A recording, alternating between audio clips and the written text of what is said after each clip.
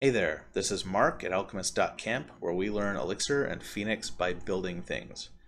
This time we're going to cover two things. One is the response to the last episode, which was about caching database requests with ETS, aka Erlang Term Storage, which is an in-memory store kind of like Redis, except it runs inside your VM. And the second thing we're going to do is we're going to cover how to use gen servers to do work repeatedly. So you could have some task that you want to do every 30 seconds or every 10 minutes or once a day. And again, you don't need to use an external tool like cron because the Erlang virtual machine and by extension Elixir can handle that very well without any sort of external tool. So let's go over the feedback first. Uh, it's pretty straightforward what I did. I've got many episodes on the site that look like this or like this.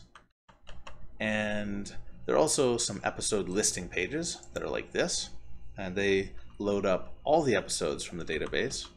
There are a fair number now, as well as some associated tags and some other metadata. Neither of these were super slow before, but I was just kind of curious to see if I could get a bit more performance out of my super cheap DigitalOcean server. It's a $5 a month server. And setting up this this in-memory cache did improve things uh, before this kind of page, depending on which page, but this specific page uh, was able to handle about 150 requests a second. And in contrast, the home page, which has an image but isn't really doing much for the database, can handle 1200 requests a second after some tuning that I did two episodes ago. But after using the in-memory cache, this got uh, a bit more than a third better so that it could handle 200 requests a second and the listing page got up to 275 requests a second. Um, probably the limiting factor on these pages is that it's it's set up like a, a CMS, so it's not loading all of this from an EEX template. Instead, all of the content is in a database, and I'm actually passing all of this through a markdown converter in line. So every time one of these is loaded, this all goes through a markdown converter. So this will turn into a list and these will be bolded. And on top of that, I've got some of my own extensions like uh, this time 023 you see here or time 355 in the episode. Those will show up as links that go to that time in the appropriate YouTube video and it got the YouTube video link out of the episode.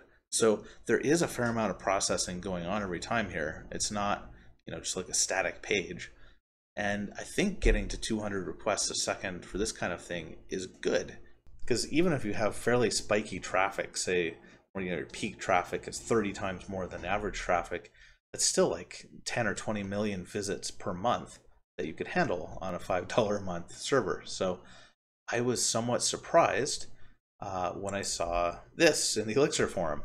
I, I think the episode last time may have uh, concerned a uh, newcomer to Elixir that uh, maybe Phoenix isn't that performant. So, I, I mean, first of all, I would say I, I'm running on a very cheap server, and it's actually not even the only site on the server. I have other ones like StatWatch is running on the same server, and it's got uh, it actually it, it has repeated tasks that it's doing like i'm going out and logging stats on many many different sites. Um, you know there are several of my own that i'm keeping track of and several that are related to my sites i'm keeping track of and i've also opened it up so other people are using this for free. Uh, it's it's not as high traffic as alchemist camp is but it's still uh, you know like, like that takes up memory on this very low end server. So I didn't think this was bad, but I, but I think what stuck out was the amount of time for uh, a response to happen. I don't have this one open. Seven to seven and a half seconds, I think, was the single episode page. This is for all the episodes, and you can see um, it maxed out at 275 requests a second, and these response times still don't look good. I mean, it's like, you know, four and a half seconds. But this is not the time to render the page from a server. This is whatever time loader.io is reporting, and I'm not even sure where they're based. Um, they they may have a lot of traffic from other things, and they may be waiting for the entire page to load. So there, there are a lot of variables I'm not sure about, but what I am sure about is when I put more and more clients on it, at a certain point, those times will start slowing down, and then um, there'll just be a lot of errors. And you know, I know about what the limit of a load the server can handle is. Now, obviously, there there are all kinds of factors and how they might be running the test, but it's useful for me to know directionally if something I did improve things or not. Um, and and obviously, uh, if this site were under a gigantic load, it might take longer than this to load up a page, or it might take longer than this to load up a single episode page. Um, it's obviously going to be YouTube and Disqus taking the most time for the user. But um, all that aside, and there was a lot of discussion, or at least subjectively, it seemed like there was, uh, since I just put out this video and then all of a sudden these people were talking about it. I guess um, actually the OP ran a tool called wrk against it and got pretty good results. Actually, um, not the episode pages, but the some of the pages just running with templates uh, compared fairly favorably to uh, his own site. Uh, this is 649 requests a second. than his own site, um, which is also running on DigitalOcean, also on a five dollar uh, droplet using a static site, Jekyll. So uh, it looks. I mean, I actually, I guess, I guess it looks like Phoenix. Um, doesn't look too bad in the process. Just what looks bad is uh, the single episode speeds, which don't look great, and that makes sense because that's where I've got all my my custom junk in there. So, uh, yeah, don't don't take this as uh, an example of an optimized site. This is more just a uh, an actual site that I'm running and um, how to set up some stuff with ETS. Now, um, I want to cover a couple of responses as to how I did it. Um, I got one suggestion of refreshing the cache list every time I add a new episode or update it.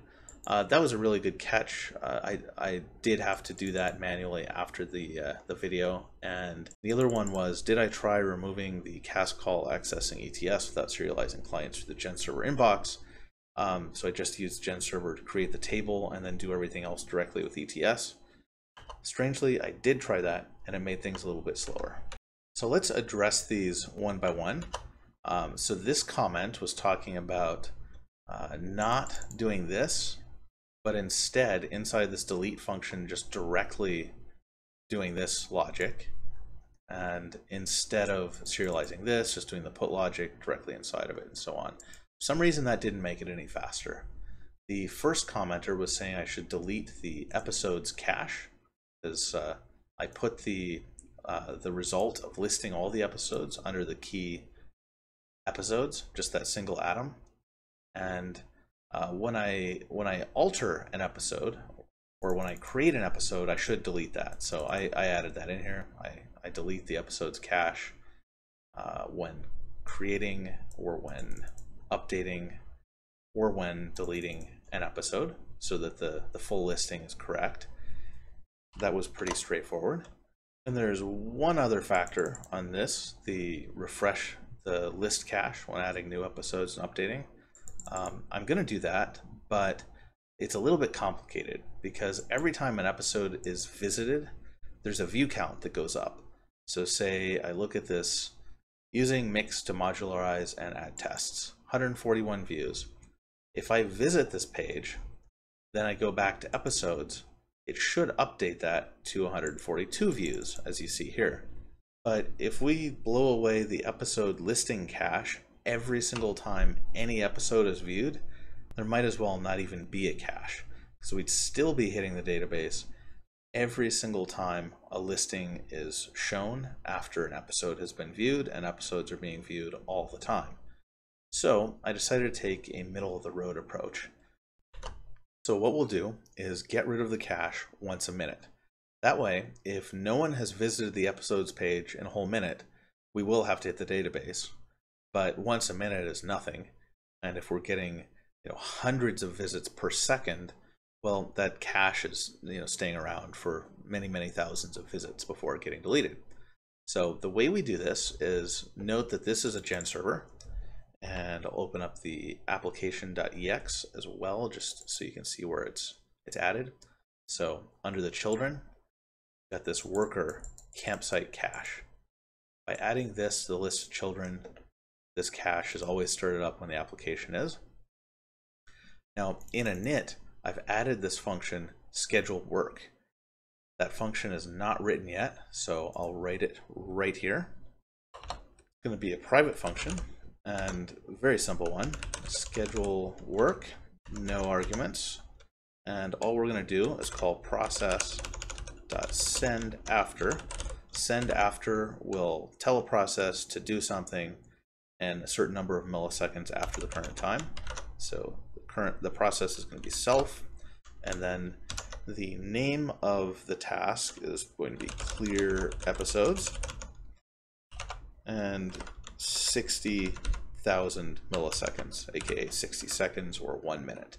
Then we got to make a handle info for that. And it has to match this same atom of clear episodes and take state, which we're not going to do anything with except just return it. Then inside of here, we'll call delete, which is the local function uh, defined inside of this file, and pass it the atom we want to delete, which is episodes, and that's just where we happen to be storing the episode listing and then we'll schedule work again. So this will happen every 60 seconds and no reply and state. So what happens when we initialize our app is the start link will get called, then we'll get into this init, uh, create our new table, then schedule work will run, which will send a message to self in 60 seconds to clear episodes. That will get caught by this handle info with clear episodes. And then we delete the episodes and then we schedule work again, which will do the same thing in another 60 seconds and on and on and on and on. And that's really all there is to it. Uh, you could obviously do some some logic like getting the current time and and uh, schedule this at the same time every day or the same you know every every minute on the minute and there's also a module called erlcron if you really want to have all the functionality that, that cron jobs do. But for most things, it's simple enough to do it yourself. And I should also point out there could be a tiny bit of drift here because this will be scheduled for 60 seconds later, but you might be spending a microsecond or two uh, in the actual scheduler itself. And I can show you a previous implementation I did for the StatWatch project that I just showed you. I used to have it log exactly at midnight UTC every day. So I made a module attribute, which just basically has the, the number of milliseconds in a day. Then same kind of schedule work happening in the init. Then inside schedule work, I would basically create a new time that's midnight, then calculate the number of milliseconds past midnight that it currently is by using time.diff and midnight in the current time. And then I calculated the number of milliseconds until the next midnight and did the process send after in that many milliseconds. And there, there are other reasons why I didn't stick with this. One being I don't want every single site that's being logged to try to do it at exactly the same time every day. But uh, this you know this is one thing you could do if you did want something to run once exactly at the same time every day. And as I said, check out erlcron if we need something really sophisticated. What I'd really be curious to hear about is how much performance do you expect, or, or even better, how much performance are you currently getting with a $5 a month DigitalOcean droplet, uh, say if you're running PHP or Node or Java right now? Have any of you gone to Loader.io and checked that out? And maybe even more importantly, how concerned should I be that pages such as this one can only handle about 200 requests per second?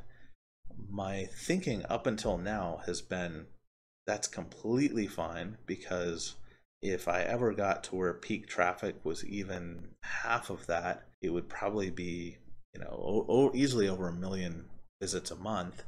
And at that point, it wouldn't be too hard to justify going up to like a $10 a month uh, droplet or even 15. But on the other hand, maybe uh, maybe there's something I'm not thinking about, like maybe uh, super viral traffic.